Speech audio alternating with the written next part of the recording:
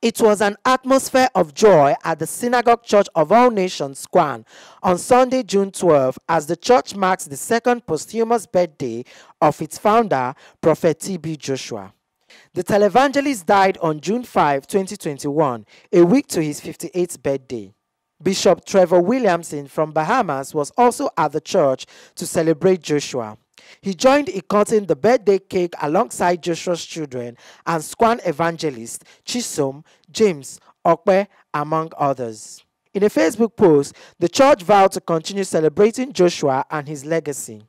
The posthumous birthday celebration came one week after the church held a memorial service to mark the first anniversary of Joshua's death. When Joshua's widow and SCOAN leader, Pastor Evelyn, joined congregants for the prayer line and anointing water ministration section, she first thanked people all over the world for their outpouring love during the anniversary on June 5. She said, quote, I and the entire synagogue family say, God bless you.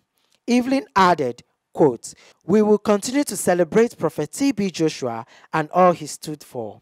Many of Joshua's mentees and disciples, including Emmanuel TV partners, were present at the Lagos based church on June 5 for the anniversary of the man known for his charity and miracles. As part of the celebratory mood on Joshua's posthumous birthday, Pastor Evelyn announced the gifts of DVDs and stickers for all congregants. Emmanuel TV choir led the congregants in worship to God for the life of Joshua. Earlier, Evangelist Okwe took a sermon titled The Power of Love, reading from 1 John 4 7 to 8.